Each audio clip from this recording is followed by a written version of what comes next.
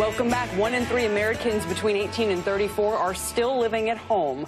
But millennials staying under their parents' roof could be a good thing for them and the economy. So says Jonathan Coppage. He's a senior fellow at the R Street Institute who recently wrote an op-ed titled, Kids Living with Their Parents Longer, It's a Good Thing.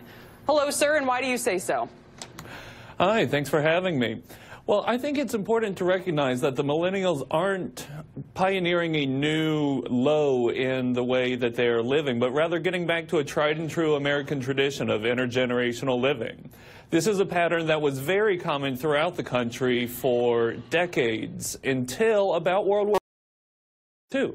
And then we got a very anomalous situation where we built a very weird housing stock. But people living with their family and drawing on mutual support is in fact a very old and time-honored tradition. Jonathan, how old are you? I am about to turn 30. Do you live at home? I do not, but I did. Until how recently?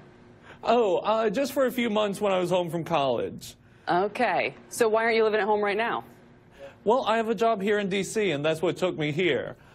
But there are a number of people that I know who get a lot out of being able to help their parents, help their grandparents who live with them, or people from bigger families who can come home and help yep. their parents take care of the little kids and the other siblings. Uh, Jonathan, I, I, don't know whether you got your own uh, bank account yet. Hopefully you've done that. But uh, J.P. Morgan, $1.82. Uh,